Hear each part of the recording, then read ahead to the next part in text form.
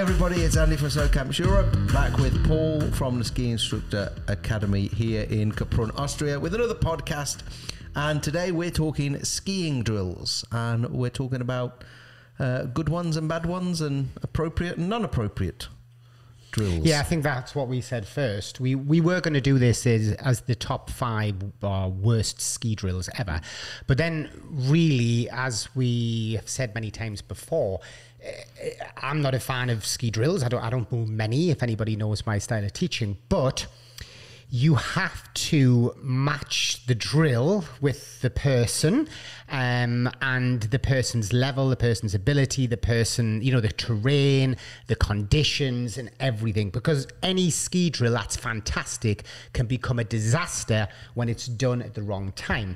And a good one about this is where I see often on the glacier um, especially in the pre-season when um, certain groups are up there being taught as level one, two um, ski instructors, and they've got them without poles, uh, bouncing around doing some weird thing with their hands, and it's a complete whiteout. And it's like, what are you doing? Like the conditions themselves, when you've got a whiteout on a glacier, mean that the last thing you want to do is add in more challenges tricky challenges when actually this is a golden opportunity just to talk about proprioception, kinesthetics, feelings, position, balance. You know, this whole concept that you have opens up to you because visibility is being shrunk. And now you've got a chance to really address that with your words of wisdom at that point as a ski coach. And this is one of the disasters. It doesn't have to be one drill, whether it be the um, the window drill, poles down the hill, dragging the poles, hip, whatever it is. They're all crap at that point.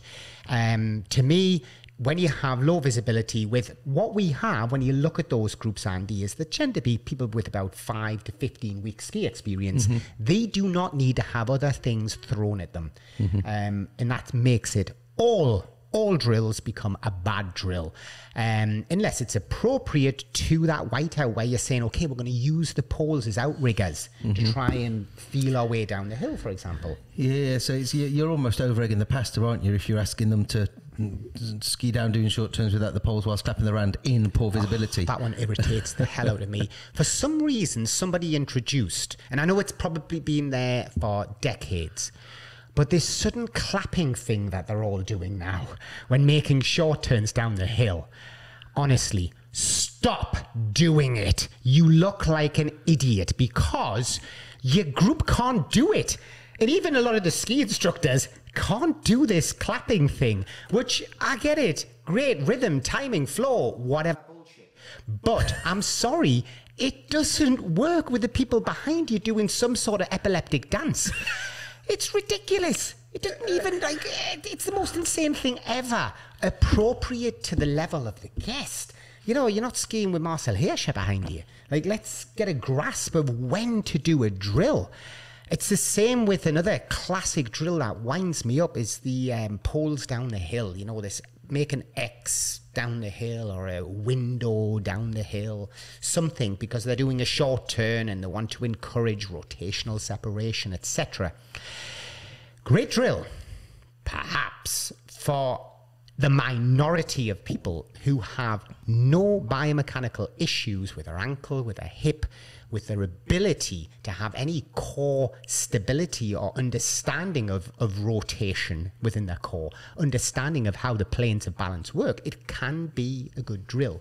But 90% of the time I see that drill going on, it makes absolutely no sense again to the group that's following.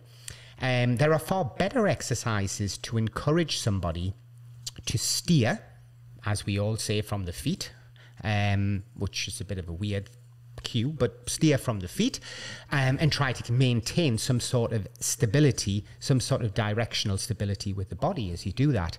And I find that drill, I don't even think I've ever done it. which, one- which one, the more appropriate one, or the, the, the, the, the, the window down the hill thing. I've definitely not done the clappy one, but the window down the hill and the, the X thing. I don't know, maybe 10 years ago, I might have done a drill like that.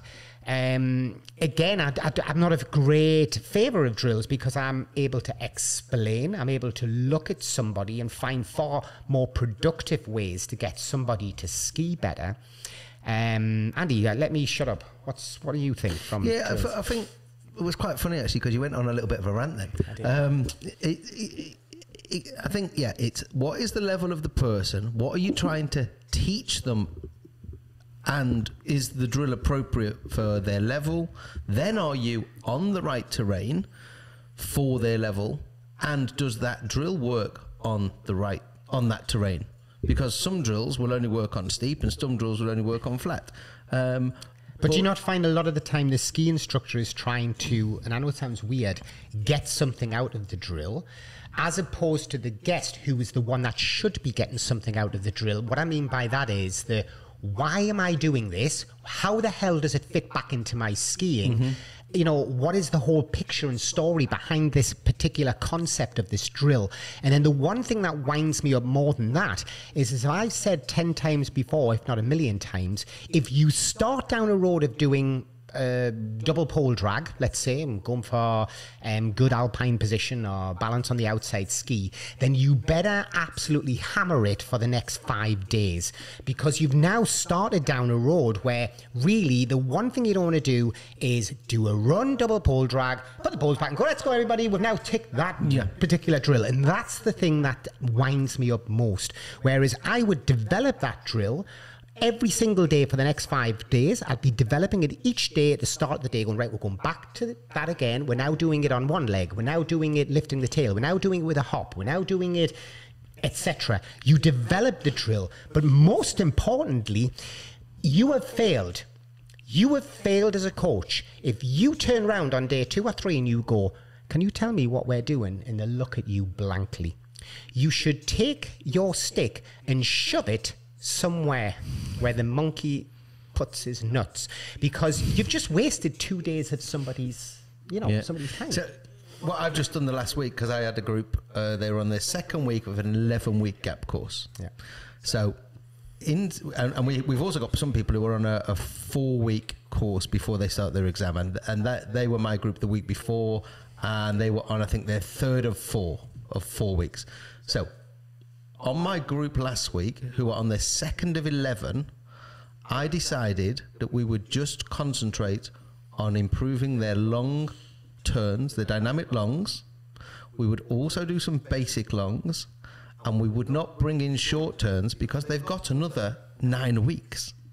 So I've set the scene at the beginning. We are going to work on long turns. We're going to work on these aspects of the long turns, getting on the edge early, building up our alpine basic position, reducing sliding, improving our body position, did it. and that's what we did all week. Now we started on easier terrain. We built the terrain up. We built the complexity of the drills up. We did end it by the end of the week going around purely on one on the outside ski. If I'd started at the beginning of the week going down Black Mamba, saying right, we're going to ski on one ski, getting an edgy, uh, an edgy, an early um, edge uh, and the turn, and then we're going to. We would have all died, you know. But I, and I did, and, and I I would say that if I've got a group who are here for a week, I would tackle it maybe differently. But the, I say weeks, these guys yeah. are here for eleven weeks, yeah. so I didn't have to say right. We're going to do everything um, one plow turns, plow steering, long turns, and shorts because that's what you've got in an exam in eleven weeks. I said, nah, we're just doing long turns, and we did long turns we, we also did some short turns. We went skiing in the powder on Friday and we did a little bit of off piste. But the main learning element, or the main coached learning element, because they also learned from doing short turns, they also learned from going in the powder, they also learned from going in the variables. But the main coaching part was long turns. Yeah. That was it. And this is when, you know, as you, as if you're listening at this and, and, let's say put your hand up if you're one of those guests who thinks a lesson should be you know hammered and splattered with drills. Now take that hand and slap yourself in the face because the last thing you want to do is have a ski instructor just throwing drill after drill. But some guests i hear them say it they, they literally feel missold if they're not getting 10 drills in a day and not some new ones. And that comes to the concept of something basic like strength and conditioning and training. Everybody's trying to develop a complex exercise that they can put on Instagram and go, do this to get rock hard um, buns or build up your VM by doing this. It's like, just do some squats and shut your mouth, you know, like, or let's get onto one leg stuff, whatever it is. But people are trying to reinvent a wheel when it comes to ski drills a lot of the times. And I feel that everybody's looking for something new. Like I said, this clap your hands and touch your head and do whatever else. It's like, seriously, like let's just ground ourselves back down to the fundamentals of skiing because 99.9% of the people that are going to be behind you as a coach need the fundamentals. They need the basic strengthening. They need to go back to the points that they missed as a beginner because they were in such a hurry to be an expert. And that is the issue. And that's why I hate ski drills. Um, but then again, a lot of what I do, you could call it a drill, even though it's might just be skiing on one ski, whatever. I just want to ask, what's VM? I was on about the the part of your thigh. Uh, okay, right. So that's good. Um, going back to what we were talking about. Um, yeah, I think and we sometimes say we don't like drills, but if we say to people, we want you to just squeeze the poles, that could be That could be classed as a drill. Yeah, exactly. Um, and again, it's funny because But that's a cue. It's what we call in sport a cue. Yeah. And there are tactical cues, uh, there are, you know, internal, external, and I think cues are great. Like that is where a coach, you tell that they're more experienced when they start referring to cueing somebody. Um, and now you can look and go, this guy's moved from being an instructor who's read the book and went, ah, to fix X spine or whatever you call it, novel knee, whatever, I need to get my hand and do this. To fix alpine position, I need this list of drills. If you're still one of those guys that looks down that and starts ticking those boxes to fix things, you are still a very much substandard instructor at that stage. You haven't developed your own rule book. You haven't actually played around with the rule book to say, hang on a second. You know, for the people I'm working with, we know because we teach up to 500 people every year to get to level two, level three, and beyond in their ski qualifications. How hard is it, for example, Andy, to teach somebody to plow parallel, for example? Nightmare. Plow mm-hmm. paralleling, right? Yeah. In a normal guest, I mean, this is another thing that you look at in the, the ski instructor progression. Why on earth do we have a plow parallel? We've mentioned this before because yeah, it's yeah. almost like a, it's like a weird thing to sort of force somebody to do. It's almost they see themselves going backwards. And I think we'll we will pick this up when we talk about one of the later podcasts about parallel skiing. But you could do drills to try and help them. But obviously, these are positional things. I think you're trying to force position a lot of the times in skiing. And a lot of the time, what winds me up in skiing a lot is people don't have the understanding our ski associations don't really recognize how different humans are from human to human and how proportionally different we are. And it really affects somebody's aesthetics, cos- cosmetic appearance, if you like, when somebody's doing a plow parallel or whatever it might be. Um, we've said this before about A-framing. You know, look at any good racer and you'd argue, well, are they A-framing? You know, and then somebody will pull me up and go, "You're A-framing. And go, well, so's the best. So the is world." Marcel Hirscher, yeah. so the best in the world. You know, sometimes people want to look pretty rather than actually want to ski to the maximum. I, I don't know, you know. But coming back to the subject of drills, Andy, what do you reckon? I mean, should we be doing getting the drill book out? If they are appropriate to what you're trying to achieve. How achieve. do you know if they're appropriate? How does a ski instructor know that that drill is appropriate? How can we teach our instructors to say, "Hey, don't do that, you muppet"? It's it's a whiteout, or it's or it's raining. Everybody's miserable. I think I think that goes down to the uh, the associations and the association. A lot of the people who we see doing the clapping are the people who work for the associations. Um, but I think the associations maybe need to think how do they train and examine the teachers because. As we've said before, the Canadians do it in a very different way, where it's focused more on their teaching ability. Where the Austrians, it's more focused on your skiing ability. They've made a, they've made a change recently in Austria where to get onto the level four, where you used to have to do this pre-exam, you've now got to pass the Euro test before you go to the pre-exam. So basically saying you got a racer to go and teach kids in Kinderland, which is another conversation that we've had many, many times. But what I'm saying is they're looking th- for high-end skiers to become teachers, but then they don't teach them how to teach or how to coach. Um, they just teach them how to ski in a, spec- a particular way, and this goes back to your plow parallel thing. And one of the um, level four trainers has recently posted a, a video of him doing a plow parallel very perfectly, like a robot, on Instagram. And it's like it's all well and good, but What use is it? it's weird because that, that actually popped up in my post, and I don't look at them ever. But I was on the one with the arrows and yeah, things, yeah. Um, and I was thinking, how terrible is this? And because it's really going to be difficult for the the audience, that is the average audience, to look at that and understand really w- how does that fit into me as a, as a skier? What is this trying to show? And interestingly, I point the thumb at myself when I say that I know a lot of our instructors and coaches were confused because a couple of our head coaching staff tried to teach them something where they were doing something with a leg in a plow parallel um, and and you know how they stretched the leg out and the, how the the hip position was etc it confused the a lot of the staff. I don't know if you were one of them that was involved in that actually or not. I don't know but some of the other ones were. I don't know if you were here for that coordination.